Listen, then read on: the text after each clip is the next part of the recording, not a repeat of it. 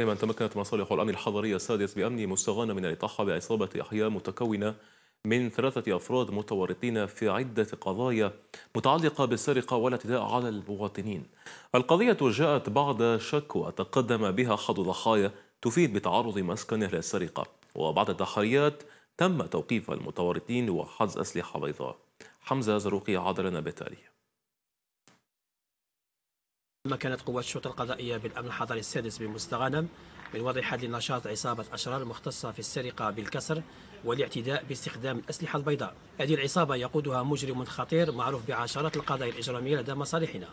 العصابة متكونة من أربعة أشخاص تتراوح أعمارهم ب 22 و 35 سنة ينحدرون من مدينة مستغانم. ثلاثة منهم ينتمون إلى عائلة واحدة.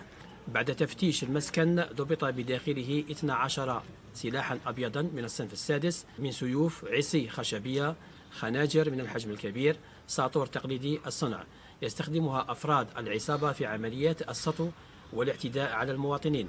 كما تم ضبط 40 قرصا مهلوسا من نوع لالوكسيرين 25 ملغ وترامادول 50 ملغ